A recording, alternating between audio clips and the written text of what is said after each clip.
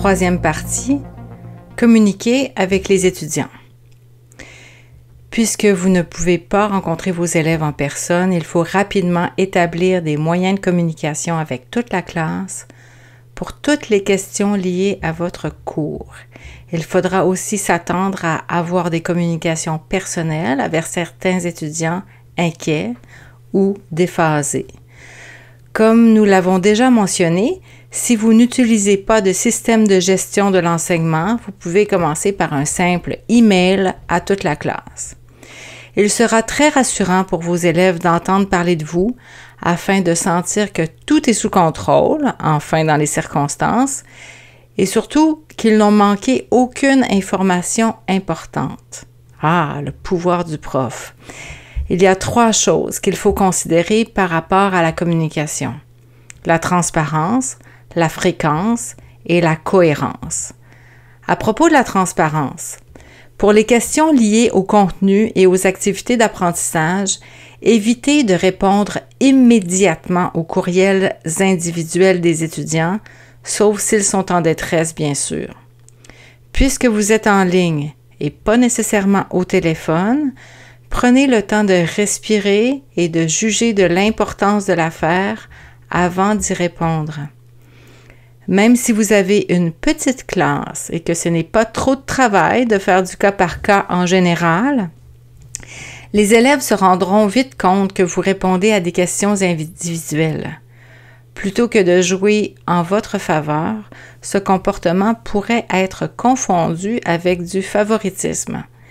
La conséquence, croyez-en mon expérience, est que les élèves qui n'ont pas communiqué personnellement avec vous se sentiront anxieux ou délaissés et s'inquiéteront de l'information que vous auriez pu ne pas leur donner. Alors, quelle que soit la façon que vous avez choisie pour communiquer avec toute la classe, assurez-vous que tous les élèves voient vos réponses à toutes les questions liées au cours. Si vous utilisez un forum de discussion dans un système de gestion de l'enseignement, créez un forum du type Poser une question au prof, à laquelle vous pourrez entrer des réponses afin que les élèves sachent qu'ils ne manquent pas d'informations et que l'information vient vraiment de vous.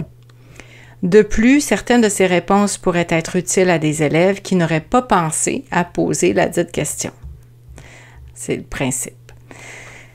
Si vous utilisez le courriel, le email, le courrier électronique pour communiquer, demandez aux élèves d'envoyer des questions seulement à vous.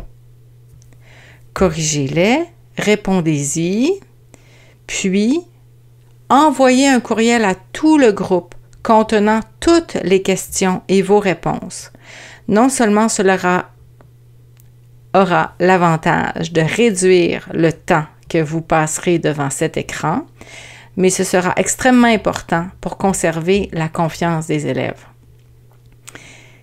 Si vous pouvez enregistrer et publier une vidéo, vous pouvez également répondre aux questions de cette façon. Attendez d'en avoir suffisamment par contre pour que cela vaille la peine. À propos de la fréquence maintenant. Dans un cours en ligne traditionnel, il est de bon augure d'envoyer deux messages par semaine. L'un est euh, ce que dans le jargon nous appelons le message du lundi matin, Monday Morning Message, MMM, où vous présentez à vos étudiants le programme de la semaine, les devoirs, les activités d'apprentissage, etc. Le deuxième message vient habituellement à la mi-semaine, le Midweek Morning Message. MWMM, OK? Euh, c'est un message dans lequel vous faites un genre de check-in. Comment ça va? Toujours en vie, ce genre de message. En milieu de semaine, il convient de demander aux étudiants comment ça se passe et, bien sûr, leur rappeler les échéances. Euh, c'est peut-être le bon moment aussi de leur envoyer euh, la grille d'évaluation pour le travail qui s'en vient. N'oubliez pas que vous pouvez communiquer avec les étudiants soit par le biais de messages, donc email, on en a parlé, publication de discussions, vidéos enregistrées, euh, ou encore en temps réel via un outil de vidéoconférence.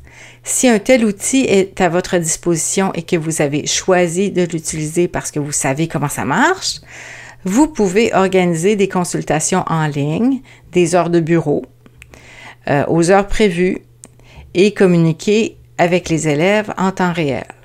Cependant, si, comme nous tous, vous avez brusquement changé votre mode d'enseignement, la conséquence est que de nombreux élèves se sentiront probablement isolés, confus, perdus, débordés et ils auront besoin de davantage de conseils.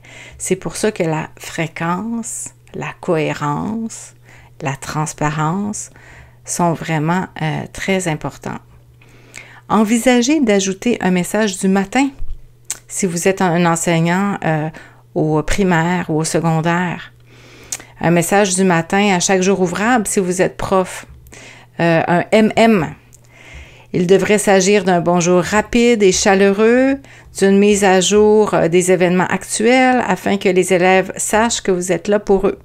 Cela contribuera à les aider à faire leur journée, leur journée d'élève à la maison, ce qui est nouveau pour eux aussi. Gardez à l'esprit quand même que trop, c'est comme pas assez. Si vous envoyez trop de messages à vos élèves à toutes sortes d'heures du jour, ils cesseront de leur prêter attention. Choisissez-vous un créneau, choisissez-vous un type d'objet hein, dans le message et euh, une, une fréquence, alors ils vont continuer à leur prêter attention. En revanche, être toujours en position d'attente, ça peut causer de l'anxiété. Aussi, essayez de ne pas envoyer de messages et de mises à jour tard dans la soirée. Rien ne vous empêche de les écrire d'avance si c'est le moment que vous avez pour vous. Seulement, ne les envoyez que le matin. Beaucoup d'élèves, beaucoup d'étudiants sont branchés tout le temps. Ils ont pourtant besoin de repos, ils ont besoin d'un temps d'arrêt à la fin de la journée. Ils ne devraient pas s'attendre à recevoir un message de votre part quand ils veulent enfin faire quelque chose qui n'est pas lié à l'école sur la constance et la cohérence. Quelle que soit la fréquence de communication que vous adoptez, choisissez celle qui fonctionne pour vous, celle que vous pouvez maintenir afin de rester cohérent. Si vos élèves s'habituent à un message du matin quotidien de votre part, ils s'y attendront tous les matins. S'ils n'arrivent pas, ils seront inquiets. Donc, si vous pensez que c'est quelque chose que vous ne pouvez pas maintenir, tenez-en vous à la fréquence que vous vous pouvez maintenir. MMM, MWMM, OK? Choisissez votre euh, moment. Laissez-moi en ajouter une, l'empathie. Il est tout à fait acceptable, voire souhaitable, de montrer votre personnalité dans vos messages et d'ajouter un commentaire sur ce qui se passe en dehors du contenu de la classe, surtout si c'est quelque chose qui pourrait parler à vos élèves. Rappelez aux élèves que vous êtes un humain, que vous vivez ça vous aussi. Vous êtes un parent, vous êtes un amateur de foot, vous êtes un amateur de cinéma, euh, vous aimez aller au concert, vous êtes comme eux, euh, contraints. Euh, vous êtes en train de reconstruire votre quotidien. Bâtir un sentiment de communauté et d'empathie mutuelle sera bénéfique pour toute la classe. En plus de votre communication avec toute la classe et avec les étudiants individuellement, Maristella et moi, nous vous suggérons de créer un espace où les élèves pourraient se parler de manière informelle, un genre de café social virtuel. Si c'est sous la forme du forum de discussion, surveillez quand même la conversation afin qu'elle reste respectueuse et amicale. Si de la fausse information arrivait à circuler, ou si vous vous rendez compte qu'un élève est intimidé, vous devriez intervenir et peut-être fermer le forum aborder la situation dans une conversation privée avec les personnes impliquées.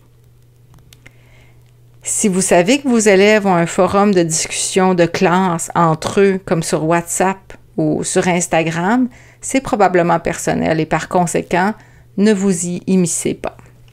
Enfin, si vous savez ou vous vous attendez à ce qu'il y ait des étudiants, des élèves très en retard dans le programme, assurez-vous de les aider. Dites-leur si vous avez une page web pour votre cours, créez un document rattrapage et mettez-le à jour. C'est là que votre plan de cours sera utile, car les étudiants sauront ce qu'ils ont manqué, ce qu'ils doivent faire pour rattraper le reste du groupe et rencontrer les échéances. En outre, vos MMM fourniront un bon coup de sonde sur l'avancement du cours. En résumé, une communication fréquente, transparente et cohérente avec les élèves sera primordiale. Cela influencera la motivation de vos élèves pour suivre et réussir votre cours. Établissez des moyens de communication que vous pouvez maintenir de façon réaliste afin que les élèves restent informés dans la mesure du possible, du temps dont vous disposez, bien sûr, et de vos compétences techniques. Si vous n'en avez pas beaucoup, c'est pas grave, hein? mais il faut être cohérent.